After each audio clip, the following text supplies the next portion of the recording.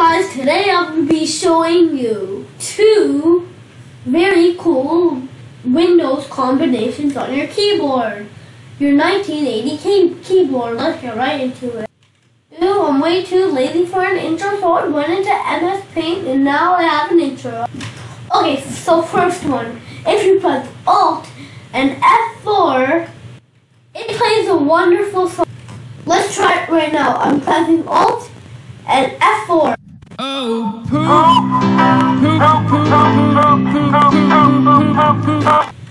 Okay, I just stopped it. If you press Alt F4 again, then it uh plays it that again. Number two, Control and W. The other one was a troll, but Control and W that actually does something. If you press Control and W, it brings you to Google how when it was first made. Okay, I'm gonna go back to the present.